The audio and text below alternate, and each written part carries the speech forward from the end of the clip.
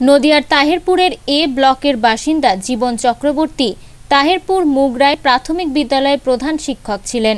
কর্মরত অবস্থায় শারীরিক সমস্যায় তার মৃত্যু হয়। পরিবারের অভিযোগ, মৃত্যুর দেড় বছর কেটে গেলেও স্ত্রীর পেনশন চালু হয়নি। প্রশাসনের দ্বারে দ্বারে ঘুরেও তার স্ত্রীর পেনশন চালু হয়নি বলে অভিযোগ। নিহতের স্ত্রী ও পুত্র জানান, পেনশন চালু না হওয়ায় তারা আর্থিক সমস্যায় ভুগছেন। বাধ্য হয়ে তারা বাড়ি বিক্রির সিদ্ধান্ত নিয়েছেন। এই সংবাদ পরিবেশিত হওয়ার পর নড়ে চড়ে বসে প্রশাসন। অবশেষে পেনশন চালু হয়েছে। এর জন্য পরিবারের সদস্যরা সংবাদ মাধ্যমকে ধন্যবাদ জানান। এখন সমস্যার অনেক মিটে গেছে। আমার বাবা বাতকুল্লা মুগরাইলের প্রাথমিক বিদ্যালয়ের প্রধান শিক্ষক ছিলেন। তা মারা যাওয়ার পর এর বছর আমরা পেনশন পাচ্ছিলাম না, সমস্ত ধারে ধারে ঘুরেও আমরা সংবাদ মাধ্যমকে খবর দেওয়ার পর, ওরা টেলিকাস্ট করার পর তিন মাসের মাথায় আমরা পেনশনটা পেয়ে গেছি। সমস্ত সমস্ত সং- সংবাদ আমার অনেক ধন্যবাদ যারা আমাদের সাহায্য করেছে।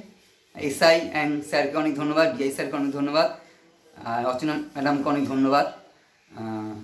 এই আমাদের না করলে হয়তো আমার কবে পেনশন হতাম ঠিক মানে কোনো খবরই ছিল না। অনেক অনেক ধন্যবাদ প্রেসকে অনেক ধন্যবাদ। থ্যাংক ইউ উনি হচ্ছে জীবন চক্রবর্তী, তাহিরপুর এ ব্লক চব্বিশ নম্বর রাস্তা, দশ নম্বর ওয়ার্ডের বাড়ি, তাহিরপুর নদিয়া মুগরা স্কুলের প্রধান শিক্ষক ছিলেন।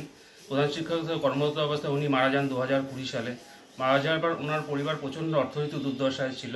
অর্থনৈতিক কারণে বিভিন্ন জায়গায় ঘোরাঘুরি করে কোনোরকম কোনো সুযোগ পাচ্ছিলেন না। অযথা ওরা সংবাদ মাধ্যমের সঙ্গে যোগাযোগ করে। সংবাদ মাধ্যমের সঙ্গে যোগাযোগ করার পর তিন মাসের মধ্যে পেনশন চালু হয়। কিন্তু এই তারপরে যে ওনাই যদি সংবাদ মাধ্যমে এটা তুলে না ধরতো, তাহলে হয়তো এই পরিবারটা হয়তো পেনশন চালু করতে পারতো না, চালু হতো না।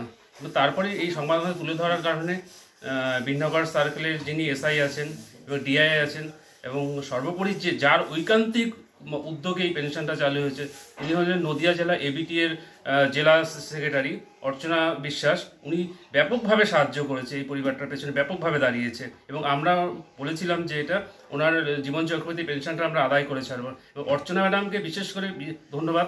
তিনি তার সংগঠনের মাধ্যমে যে এই পরিবারটার পেছনে দাঁড়িয়েছেন যে সংগঠন মানে হিসেবে সংগঠন ছাড়া যে পরিবারটার পেনশনটা চালু করতে পারতেন না।